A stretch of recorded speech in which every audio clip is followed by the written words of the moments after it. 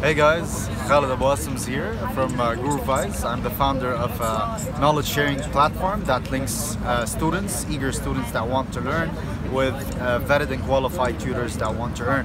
Uh, we've been in the market for the past two years, based in Beirut, and over the past two years, we've matched more than 700 students with alike uh, uh, around 85 tutors from various fields and industries, as well as majors.